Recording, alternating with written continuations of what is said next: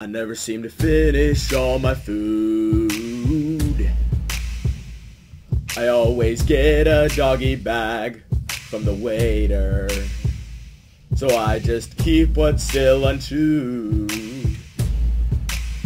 And I take it home, save it for later. But then I deal with fungal rot, bacterial formation, microbes, enzymes, mold and oxidation. I don't care.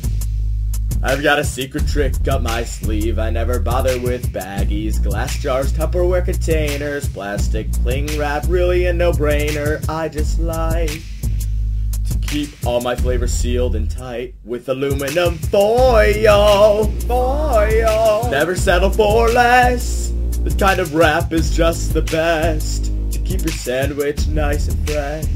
Stick it in your cooler. Cooler. It when you're ready. Then baby you'll choose. You'll choose. You'll choose. A refreshing herbal tea.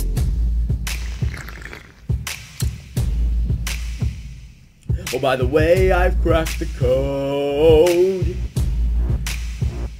I figured out the shadow organization.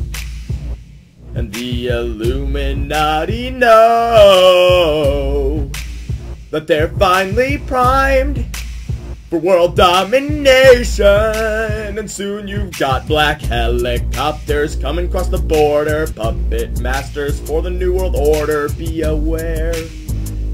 There's always someone that's watching you, and still the government won't admit they faked the whole moon landing. Thought control rays, psychotronic scanning, don't mind that.